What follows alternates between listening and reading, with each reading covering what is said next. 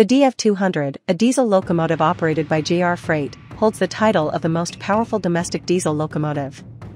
It emerged as a high-performance locomotive that broke through the long-standing stagnation of diesel traction, which had persisted due to the decline in freight transport during the final years of JNR. Unlike today's CO2 reduction policies, the era marked a renewed recognition of railway transport efficiency from the perspective of economically rational energy utilization. Buoyed by a booming economy, the post-privatization period of JNR presented a prime opportunity for the revival of rail freight transport. On non-electrified lines, high-output locomotives were in demand, and the DF200 was designed free from the conventional constraints of JNR-era diesel locomotives. Abandoning the traditional hydraulic transmission, it adopted rapidly advancing power semiconductor technology and AC motors to mitigate the weaknesses of conventional diesel-electric systems.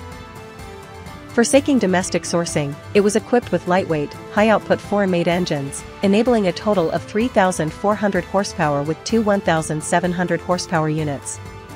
This output was nearly double that of the DF90, a domestically proposed electric-type diesel locomotive by Hitachi in the early Showa 30s, mid-1950s. Although the combination of lightweight engines, motors, and generators was unthinkable in JNR-era diesel-electric systems, the inherently complex structure of electric-type locomotives still resulted in increased weight. Since use on lower-grade lines with strict axle load limits was not considered, the weight increase was tolerated. The resulting higher adhesive performance and increased weight on driving axles enhanced the locomotive's ability to haul heavy trains. Thus, despite having approximately 1 Five times the engine output compared to the DD51, the DF200 could haul trains previously requiring double-headed DD51S with a single unit, achieving operational efficiency and rationalization.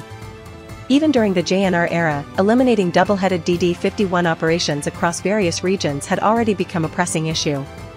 The DE50, equipped with a 2,000 horsepower engine, was developed, and there were expectations on the ground for a powerful locomotive with two such engines. However, due to the decline in JNR freight transport, the future of the DE50 became uncertain, and development was ultimately cancelled. Although the engine saw limited practical use in emergency power supplies and pumps, the issue of insufficient tractive effort caused by cavitation in the first stage of the hydraulic transmission remained unresolved, bringing the entire project to an end. Meanwhile, the DML61 series engine mounted on the DD51 was later improved to 1,350 horsepower and utilized in the DE10, leading to consideration of a locomotive with two such engines. However, even with increased engine, if the adhesive effective weight i.e., the weight on the driving axles remained the same as the DD51, the balancing speed on gradients would increase, but the ability to haul trains uphill would not improve.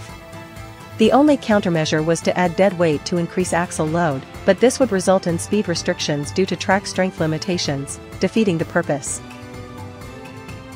Therefore, it became necessary to make the middle bogie of the DD51 a powered axle, adopting an F-type configuration. While using powered middle bogies like the Shinkansen 911 was an option, the limited flexibility of the drive shaft restricted passage through sharp curves and low-number turnouts, making it impractical for conventional lines. Thus, the proposal shifted to using two AAA axle arrangement bogies, already proven in the DE10, to achieve an F-type configuration. During testing of the DE50, the high-speed performance of its bogies was evaluated, and it was generally deemed acceptable even beyond 100 km per hour. The DML61 engine was also projected to reach approximately 1500 horsepower, paving the way for the future introduction of the DF51 as a 3000 horsepower locomotive. While the DE50 offered only moderate performance, the DF51 was estimated to be capable of hauling many trains that previously required double-headed DD51S, albeit with slightly less capability. It was expected to contribute to the efficiency of freight transport, but due to the sharp decline in JNR freight operations from the late Showa 50s onward, the locomotive never materialized. Had the DF51 been realized, how would it have fared in a performance comparison with the DF200? In terms of engine output, the DF51's 3000 horsepower falls short by just over 10% compared to the DF200's 3400 horsepower. Comparing tractive effort characteristics, the DF51 is weaker by the margin of its lower output, as illustrated in this diagram.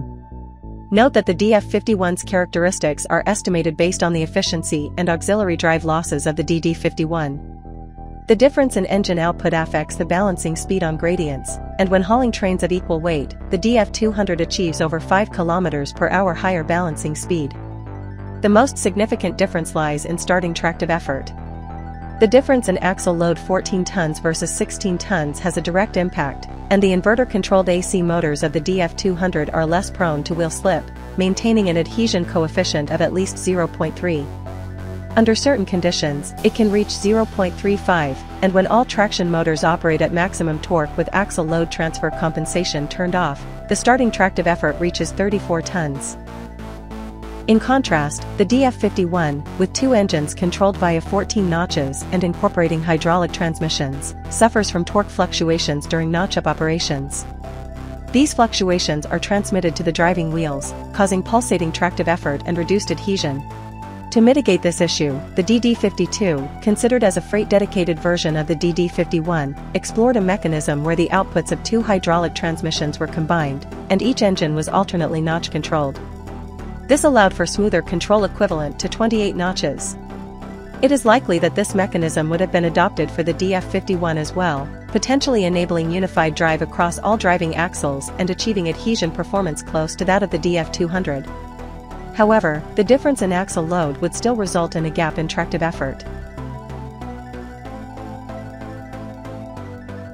Unlike today's upgraded JR lines that allow heavy high-speed DMUs to operate efficiently, many regional trunk lines at the time had a standard axle load limit of 14 tons.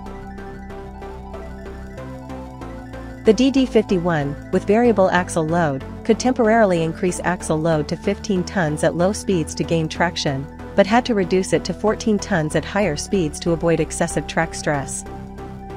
Locomotives without variable axle load mechanisms could not exceed the 14-ton limit. Had development of the DE50 continued and the issues with its hydraulic transmission been resolved, a 4000 HP class locomotive might have become a realistic possibility. However, as long as the 14-ton axle load restriction remained, realizing a 4000 HP class locomotive was a difficult proposition. Had a locomotive been developed with the same concept as the DF200, dedicated to lines like the Muroran main line where track conditions were favorable, it might well have been realized. However, with an F-class configuration, the car body would become excessively long, and keeping the axle load within 16 tons would be difficult, necessitating consideration of an H-class design. Even with a BB axle arrangement, keeping each unit within 64 tons would be extremely challenging, but assuming thorough weight reduction made it feasible, the total weight could be held to around 128 tons, slightly lighter than the current EH200, and the adhesive effective weight would increase by approximately 30%. Even with weight reduction efforts, the total weight exceeds that of the post-war developed DD50 double-headed configuration, which was effectively operated as a DH-type locomotive. However, the output at wheel rim is more than double that of the DD50S. In such a case, even with torque fluctuations during notch-up, the locomotive could potentially surpass the DF200 in starting tractive effort, delivering high tractive effort from low speeds and outperforming the DF200 across nearly the entire speed range. Had such a locomotive been realized, Japanese diesel locomotives would have reached the global standard of the time and likely earned high praise. Despite this, double-headed DD51 operations continued, resulting in inefficient usage patterns. While full electrification could theoretically enable single-unit operation, the reality was that such electrification was unattainable, trapped in an ongoing dilemma.